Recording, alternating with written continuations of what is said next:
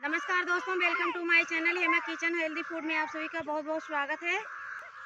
ये देखिए दोस्तों, चना बोया गया है और बच्चे लोग उसका फुनगी खा रहे हैं खोट के। ये देखिए, हमने धनिया लिया हुआ है तो मैं खेत में इसे बो दे रही हूँ। तो मैं इसका गोड़ाई कर ले रही हूँ। ये देखिए दोस्तों, गोड़ लिया है हमने खेत को और इसे पैक कर ले रही हूँ कुदार से। दोस्तों, जब हमारा धनिया तैयार होगा तो हम आप लोगों को रेसिपी बना के दिखाते हैं। तो चलिए और खेत में कुछ दिखाती हूँ। ये देखिए दोस्तों, आलू का फ़सल है, इतना अभी तैयार हुआ है। सरसों की फ़सल है, देखिए, फूल आ गया है। मैं अपने सब्ज़ी वाले खेत में आ गई हूँ तो यहाँ क्या क्या सब्ज़ी है, चलिए दिखाती हूँ। ये देखिए दोस्तों, गांठ गोभी है। अभी जो कि तैयार नहीं हुआ है। जब तैयार होगा तो हम आप लोगों को रेसिपी बना के दिखाएँगे।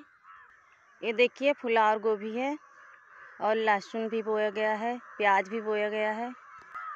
ये है हरा मेथी। बीट और गाजर यहाँ है। बंद गोभी बोया गया है। पालक भी है।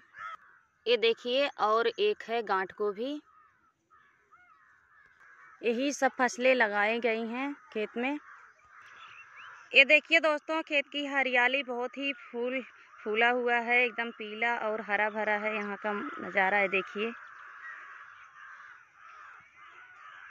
दोस्तों, आज का वीडियो कैसा लगा हमें कमेंट करके बताइएगा अच्छा लगे तो लाइक करना, शेयर करना, कमेंट करना, मिलेंगे आने वाली रेसिपी के साथ, तब तक के लिए नमस्कार।